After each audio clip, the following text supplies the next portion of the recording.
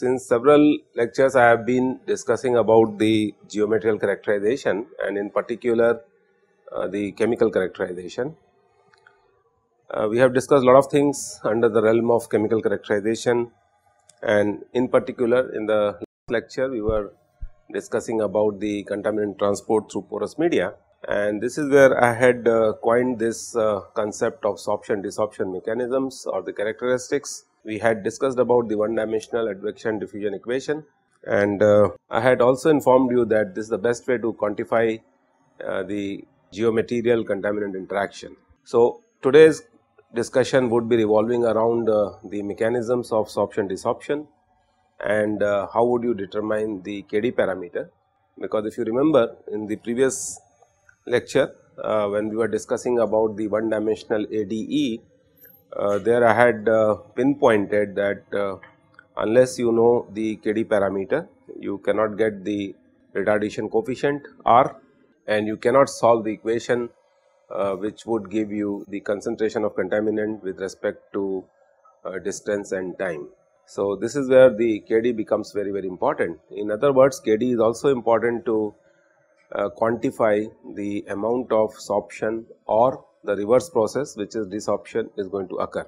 Incidentally, KD is known as the distribution coefficient and having done this I will go back to thermal characterization, uh, electrical characterization and magnetic characterization. So, to begin with the first question in mind is that what is sorption? Sorption is a mechanism uh, which constitutes of two components uh, that is absorption and adsorption. So, as the name suggests absorption is something which is uh, assimilation, inclusion or incorporation of something in a matrix, uh, while the adsorption process is uh, surfacial.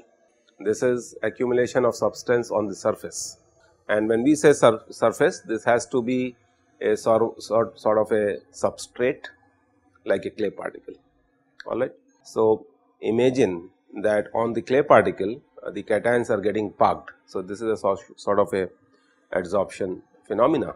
However, coming back to the absorption, uh, the molecules or the atoms uh, they have a tendency in the bulk to occupy the porous space or the pores. Uh, so, like absorption of water by uh, the porous media particularly like sponges or stones which are having very high porosity so, this is the absorption process. The adsorption is something where the atoms and molecules move from the bulk phase uh, that is a solid, liquid or gases and uh, they get deposited onto uh, solid or liquid surface. So, this becomes the adsorption process. So, as the name suggests uh, the adsorption is going to be something which is related to adherence alright. Uh, we have used this term in conventional geomechanics also in the form of the hygroscopic moisture content where the thin layer of water gets adhered onto the particles alright and that thin layer uh, could also contain the contaminants and when this process happens we say there is the adhesion of a thin layer of molecules of some substance which is surrounding the surface of the solids or the liquids. So, this becomes adsorption. I hope you can realize from this comparison that uh, until now in classical geomechanics we have been using the concepts of absorption the simple answers to this type of discussions would be if you have to find out the porosity of a porous media. So, suppose if I give you a rock sample and if I ask you what is the porosity. So, the normal procedure is you soak the water, so soak the sample in the water for 3-4 days, take it out, find out the weight difference of the you know wet to dry and then compute the moisture content and which gives you a sort of an indication of what the porous structure would be. Very gross way of finding out the porosity of the system because uh, with the discussion which we had until now in this class, you must have realized that uh, water molecules might not be penetrating through the very very fine pores which are present in the porous media. And hence this method is empirical method, it does not give you the complete porosity, particularly the porosity which is going to contribute to most of the mechanisms which control the contaminant transport in the geomaterial, alright.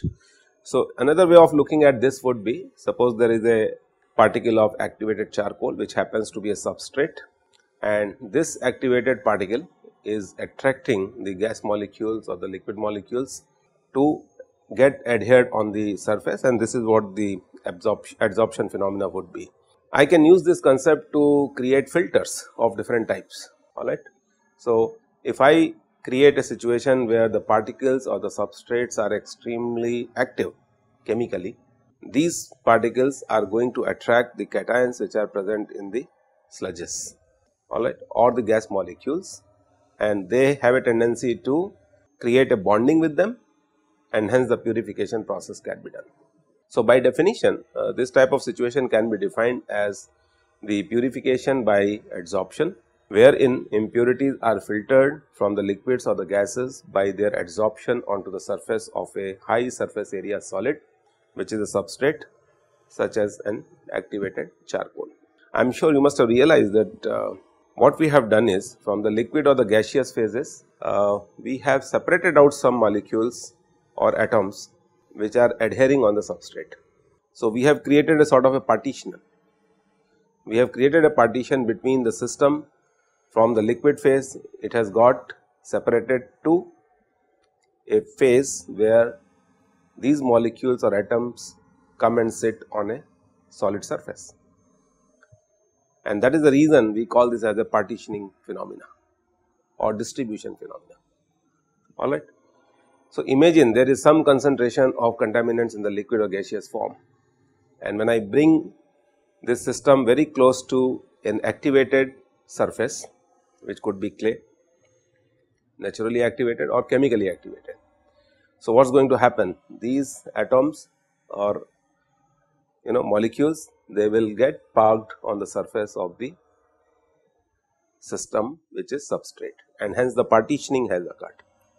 This is the concept of sorption phenomena. Is this okay? Now, the terms which we use in sorption for defining the sorption mechanism are adsorbates and the second one is adsorbent. So, substrate is also known as adsorbent.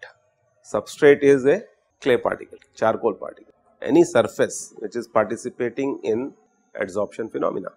Adsorbates are the ones which get sorbed onto the surface, mostly molecules or the atoms alright, uh, cations let us say. So, they will get parked on the substrates or adsorbents. So, in case of the adsorbed cations, they get tightly held on the surface of the negatively charged dry clay particles, clay particles are the substrates and the cations are adsorbates. I think I have discussed and you must be able to uh, realize what it is. So, in a very layman's language the sorption phenomena can be you know simulated like designing a parking lot. So, imagine in parking lot what happens most of the vehicles come and they get parked. So, many times we use the term that molecules get parked on a parking lot. So, this parking lot is nothing but the substrate a clay particle and the vehicles which are coming and getting parked are the molecules or the cations alright. Now, I think you can visualize the whole scenario that several trucks and you know small cars and the big cars competing together to get a place in the parking lot. Something of them of the same sort is happening in case of sorption phenomena also. So, sorption would depend basically on the size of the cations as well and the valency of the cations as well. And the chances are depending upon their valency they might get preference. But a bulky cation might have to wait because of its size clear. So, when we were talking about cation exchange capacity of the geomaterials. Uh, one of you had asked this question that uh, you know what is the significance of washing several times and allowing the geomaterial to interact with sodium acetate and calcium chloride solution. So, I think now you can realize what we have done in the process of determining the cation exchange capacity is we had allowed sorption and desorption to occur clear. So, all the sodium ions which are present in the geomaterial under natural circumstances will get displaced by the cations like calcium which have higher preference clear. So, this is the sorption process and then in the next step what we have done is we have washed this with the water. So, we have done a desorption process. Ultimately what we have done is by repeating this cycle we have tried to quantify how many cations can still remain parked on the surface of the adsorbent. Is this okay? So, that is the quantification which you have already done. So, this is the basic model. If you take the clay particle which is negatively charged, the cations will come and get parked on the surface and this is a sort of a sorption process. So, I just need a surface. This might happen in air also, aerosol formation. So, during winter mornings and nights what you have observed, you know the particulate matter which is present in the environment because of the temperature attracts dust particles and these dust particles get locked over there and they cannot precipitate because of their very low density clear. So, this could happen in the gaseous phase also this sorption phenomena. So, desorption is a reverse process. So, until now what we talked about is the sorption process. Uh, what is desorption? Desorption is the phenomena where the substance is released from or through a surface, okay, washing, cleaning up process is a reverse process of the sorption phenomena. So, this is opposite to the uh, sorption process and this type of mechanism is going to occur um, once the sorption has got equilibrated. After eating sufficient food, what is our tendency? We repel the food, is it not? So, after getting saturated, satiated, the tendency is that you say, no, I not take anything. It is a sort of a aversion, it is a sort of a repulsion. So, that means the desorption process will always start after the sorption has occurred and it has achieved its equilibrium position. So, equilibration is between the fluid phase that is the gaseous phase or the liquid phase and an adsorbing surface. So, this adsorbing surface could be the boundary of the two fluids or this could be the solids like clay particles. So, I am sure now you are realizing that uh, these mechanisms would control uh, the you know quantification of contaminant geomaterial interaction. So, suppose if I ask you a question whether a geomaterial is going to interact with a contaminant or not the best way to answer this question would be you allow the interaction to occur and see how much concentration of contaminants has got parked onto the surface.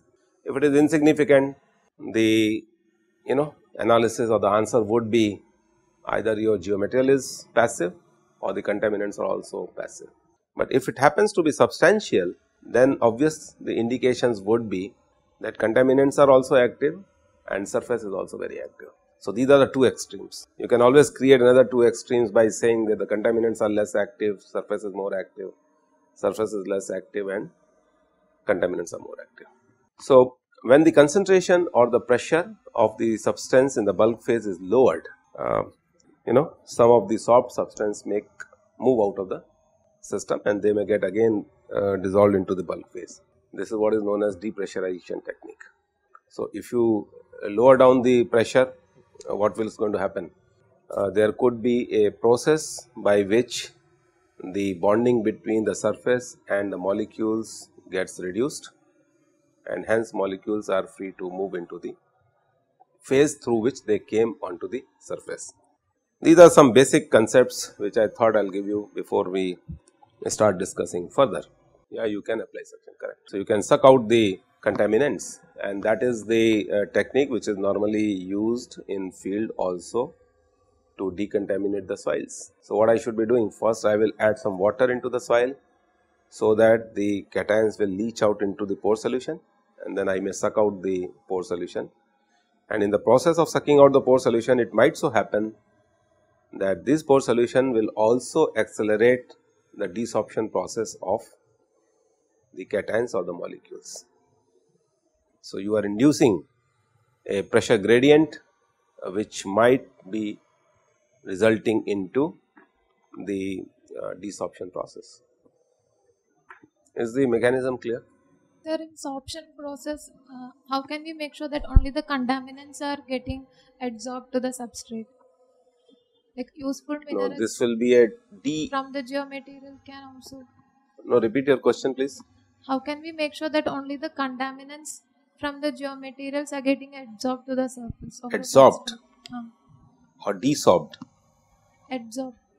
So, this is the process of sorption because only cations will get uh, sorbed on a surface no because of the clay particle has negative charge and cations are positively charged. So, what is going to happen? Only the positive will come and sit on the negatively charged particles.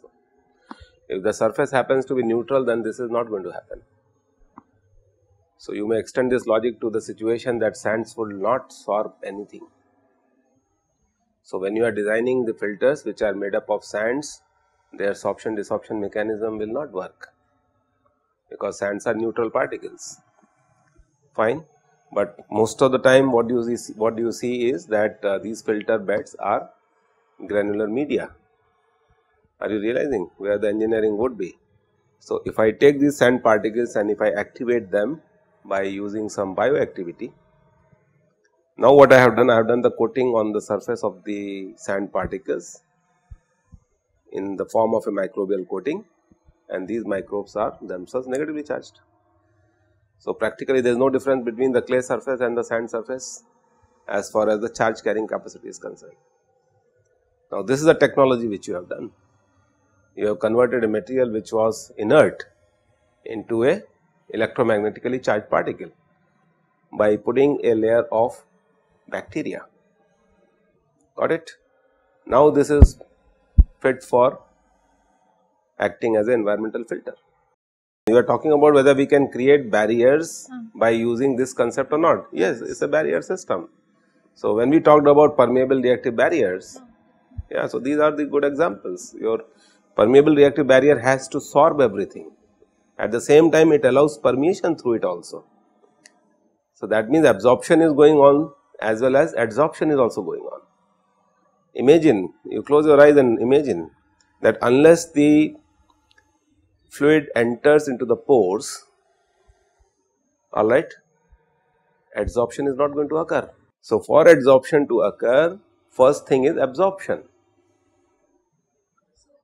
Always just a minute just just just a minute. So, that means the fluid phase has to enter the porous media imagine all the pores are filled up with the fluids when there is sufficient time now what is going to happen now there is exchange phenomena which is going to get actuated between the fluids which are present in the pores and the solid matrix. So, absorption has to happen first followed by adsorption clear.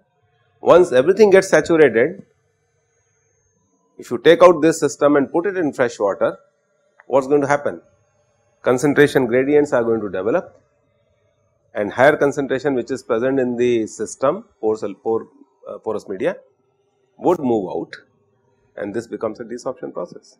So, when you design PRBs, uh, you have to talk about desorption sorption mechanisms.